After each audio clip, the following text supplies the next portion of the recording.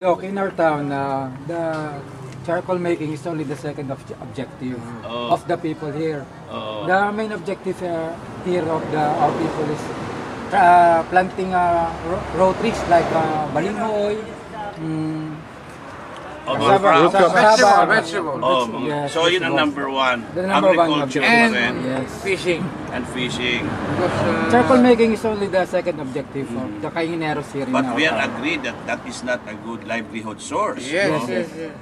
because uh, it affects our environment. It, uh, yeah, not only environment, our it affects the human, you know, Health. the human health, right?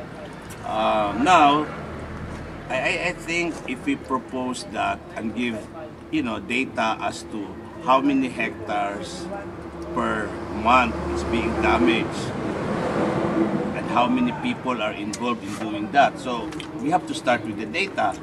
And if we continue doing that, we might end up with denuding our forest here, in, especially that beautiful portion of Atimonan where it is a national park. Yes, zigzag road. The The zigzag road. uh, All Tukang zigzag road. Manok.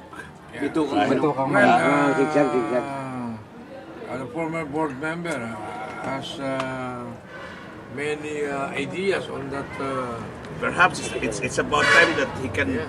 uh, you know, refresh all these ideas. Uh, in fact, that was part of that whole flagship when he ran as uh, mayor ba, yung mga mayor of Atimonan, board member. as board member. Can you just update us with those uh, beautiful concepts, plans, Uh, especially like, on the uh, we have, preservation uh, of this uh, national forest, the national park? uh, the national park. With regards to the national park, tree planting is number one. Kasi um, the the portion inside portion of the forest, most of the trees are uh, already, has been cut, and uh, we need to reforest reforest. Reforestation. Repo- we need reforestation in that said uh, forest.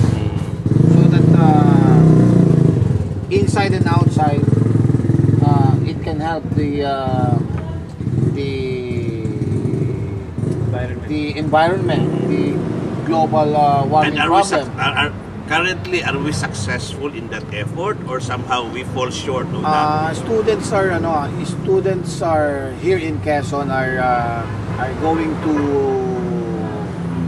the zigzag park to plant trees in a way uh, students are helping the environment But, But is it enough? We are fall Uh, short. maybe it's not enough kasi so it is not really a massive campaign Ah. on the part of the local government, it's not, maybe. it's not their Ah. first priority. It's not their first priority. That's what I thought.